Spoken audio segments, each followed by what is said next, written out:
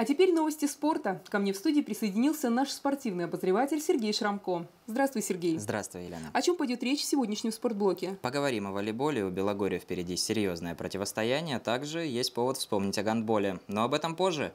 А сначала о водном поло. В Белгороде проходит открытый чемпионат БГТУ имени Шухова. Состязания собрались 7 команд. Участвуют студенты технолога, ветераны белгородского спорта и даже представители Курска. Турнир проводится по круговой системе. Победитель определится 2 апреля, а в эти выходные состоится, пожалуй, самый интересный матч. Первая команда наших студентов померится силами с курянами. Подробности и итоги в следующих обзорах. Добавлю, что такие состязания вызывают повышенный интерес у молодежи и являются большим шагом на пути развития водного пола в регионе. Этот вид – отличная альтернатива для пловцов. Именно они сейчас составляют основной костяк белгородских команд. Возможно, в скором времени заниматься начнут и дети идет сейчас разговор, он уже э, больше года, о том, чтобы создать на базе э, школ, таких как «Спартак», отделение водного пола, где привлечь тренеров. Далее о шахматах. Сегодня в Белгороде стартовали традиционные соревнования в рамках областной спартакиады. Отдельные зачеты у восьми коллективов из муниципалитетов с населением более 50 тысяч человек и шести из тех, где население ниже этой отметки – Среди первых – разделение на две подгруппы, а уже затем полуфинальные и финальные противостояния.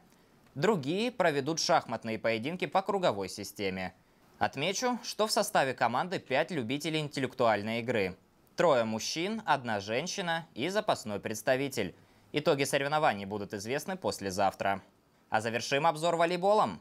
Белогорию предстоит эпопея противостояния с непобедимым казанским «Зенитом».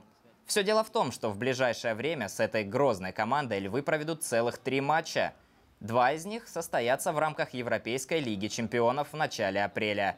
Одолев польскую ЗАГСу, в следующей стадии этого турнира белгородцы попали именно на представителей столицы Республики Татарстан. А уже в это воскресенье два гранда российского волейбола сойдутся в игре очередного тура Отечественной Суперлиги. Примечательным событием станет и выход на площадку дуэта Тетюхиных – Впервые легендарный олимпийский чемпион сыграет плечом к плечу со своим сыном Павлом. Такое нельзя пропустить. На этом у меня все. Обзор представил Сергей Шрамко. Всего самого доброго и хороших выходных. Спасибо, Сергей. А я напоминаю, что спортивные обзоры выходят в эфир нашего канала по вторникам и пятницам. Не пропускайте.